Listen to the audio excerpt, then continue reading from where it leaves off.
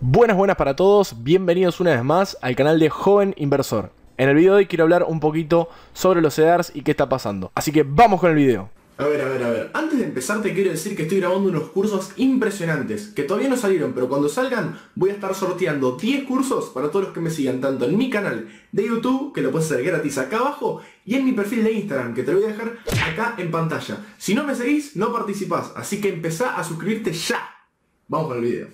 Bien, quiero hablar un poquito de los CEDARs que están de moda. Vamos a hablar un poquito de Gillette, el laboratorio estadounidense. Quiero hablar un poquito también de Boeing, la empresa de aviones, que tuvo una caída bastante interesante. Y algunas cuestiones que tienen que ver con los CEDARs que me están preguntando mucho últimamente. Quiero empezar explicando un poquito qué es lo que pasó el día jueves, si no me equivoco, vamos a corroborarlo. Exacto, día jueves, hoy es viernes, estoy grabando este video un viernes, ustedes lo están viendo el sábado. ¿Qué es lo que pasó el jueves con la CNB, básicamente prohibieron a los fondos comunes de inversión de tener un 25% de liquidez en dólares. En castellano, los fondos comunes de inversión no pueden tener más del 25% del capital en dólares.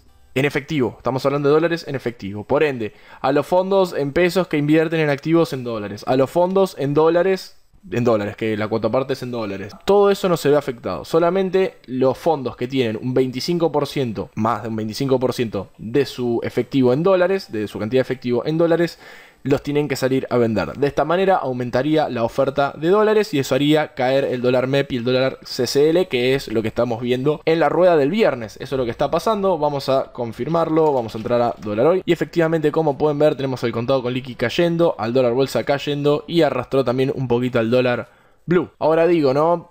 Yo esto también ya lo dije por Instagram, ¿no les convendría también sacar el parking? Porque si sacas el parking, más gente va a vender dólar MEP, por ende va a aumentar la oferta del dólar MEP y por ende va a caer el precio del dólar MEP. Pero bueno, se ve que no piensan mucho las personas que nos están gobernando. Vamos a dejar de hablar de política, no me gusta meterme en esos terrenos y vamos a empezar a hablar un poquito sobre los CDRs y algo que me están preguntando un montón.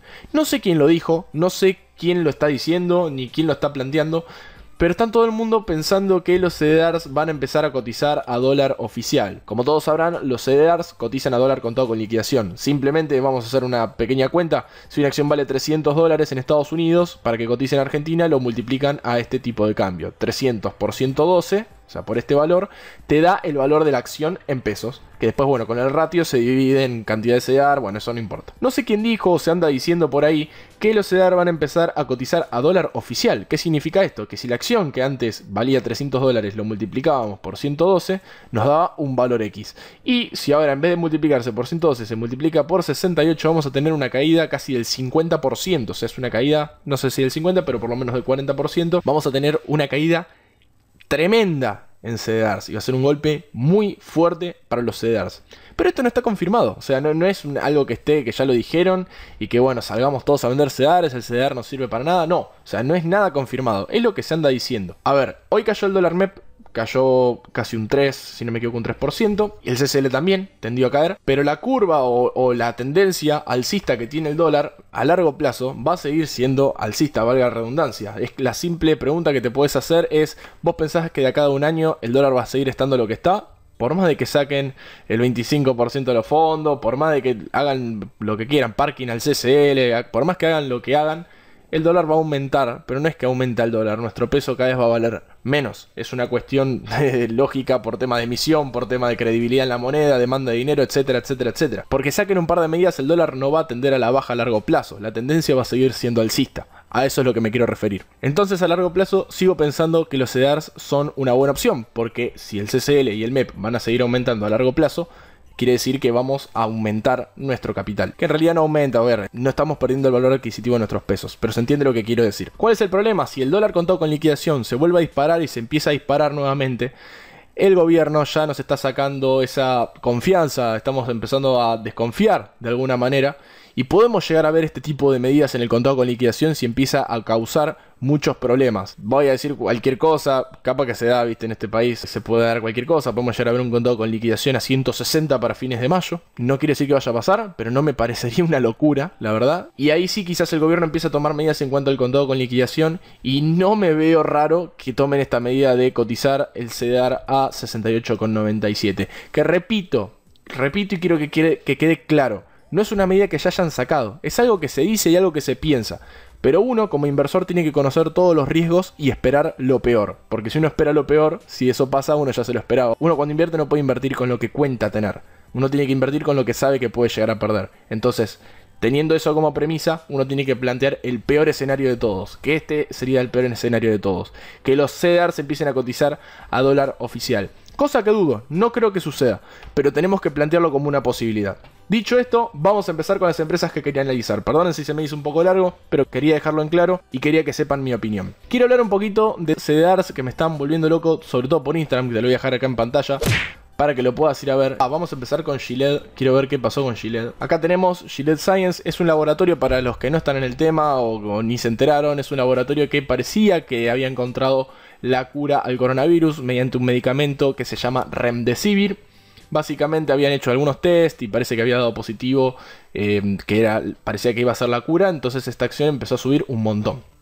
¿Qué pasó? La gente empezó a entrar como loco, aumentó el volumen, fíjense que hoy es eh, viernes 24 de abril y en Gilead tenemos ni más ni menos que 6 millones 485.000 de monto operados. Es una locura, una empresa que tenía cero hasta antes de esto. O sea, se puso de moda y la gente lo empezó a comprar como loco. Sobre una hipótesis que no era real. O sea, se pensaba que la empresa iba a encontrar la cura, pero no era algo sólido, o sea, era una hipótesis y faltaban hacer pruebas. ¿Qué pasó? Fracasó. La empresa fracasó en su primer intento, no funcionó el medicamento que iban a largar. Entonces, esto es un peligro muy grande, porque uno está comprando acciones por una hipótesis de algo que no pasó, y encima fracasó. Y faltan hacer pruebas, pero puede ser que no funcione. Y en caso de que no funcione, no solo que te estás quedando con una acción que no conocía a nadie, básicamente es un laboratorio importante, pero no solo que te estás quedando con una acción que la hipótesis que tenía no funcionó, sino que te estás quedando con un CDR que no tenía volumen hasta antes de todo esto y a la larga va a quedarse sin volumen. Así que te vas a quedar con un CDR que no te lo va a querer comprar nadie, básicamente. Eso es lo que yo pienso de Gilead, en tanto y en cuanto este medicamento que sacaron ellos siga eh, siendo una sola hipótesis y no sea nada sólido. O sea, ¿qué te recomiendo? No lo compres. No compren Gilead. Céntrense cuando compran CDRs, si operan en el mercado argentino mediante CDRs, céntrense en los CDRs de siempre. Los que tenemos acá en la primera parte del monto operado, o sea, las de siempre. Microsoft, Mercado Libre, Gold, Petrobras, o sea, céntrense en estas. Eso es lo que más les puedo recomendar. Traten de evitar las empresas de moda.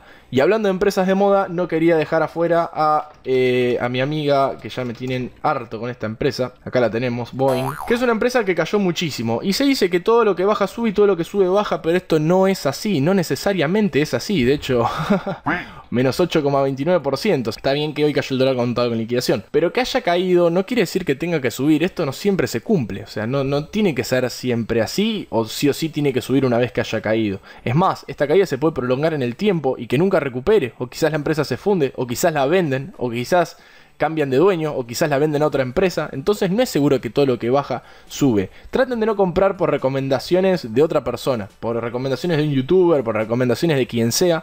Traten de hacer sus propios análisis, porque Boeing es una empresa, todo lo que quieran, apoyada por el gobierno, bla, pa, pero es una empresa que si llega a perdurar esto en el tiempo y no puede volver y retornar a su actividad principal, Boeing es una empresa que básicamente diseña, vende y fabrica y produce todo lo que tiene que ver con aviones, helicópteros, satélites, etc. Y también proporciona todo lo que es el servicio técnico a, todas esta, a todos estos medios de transporte. Entonces, básicamente, todo esto está parado. Imagínense que todo lo que tiene que ver con aviones, helicópteros, eh, satélites, todo eso queda en un segundo plano, ni siquiera se está utilizando. Y si esto perdura en el tiempo, Boeing puede tener unas caídas muchísimo más grandes. Estamos viendo una recuperación, pero esto puede perdurar en el tiempo y como les digo, puede cambiar de dueño, se puede vender la empresa a otra empresa, puede fundirse, o sea, pueden pasar un montón de cosas que pueden hacernos perder mucho dinero. Además de que es una empresa que está de moda, o sea, está de moda porque alguien la recomendó y a la larga su CDR va a perder volumen. Esta es mi opinión acerca de Gillette Science y acerca de Boeing. Esto es lo que yo pienso, que no necesariamente tiene que ser lo que vos pienses. De esto que yo te digo, agárralo, pensá qué es lo que te parece bien de lo que yo dije, qué es lo que te parece mal, o lo que vos no pensás, y separá lo que te sirve y lo que no te sirve.